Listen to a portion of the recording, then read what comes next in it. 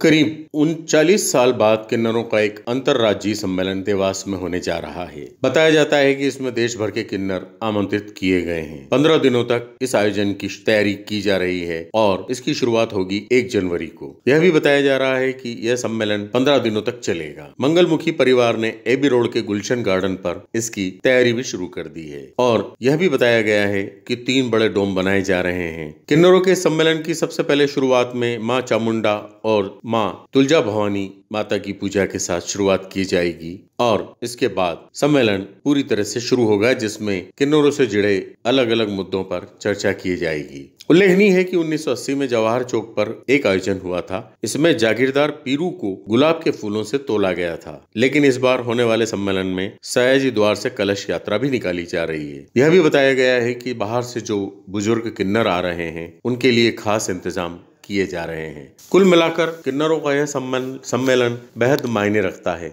इसलिए कि इसमें किन्नरों से जुड़े विभिन्न सामाजिक मुद्दों पर चर्चा की जाएगी।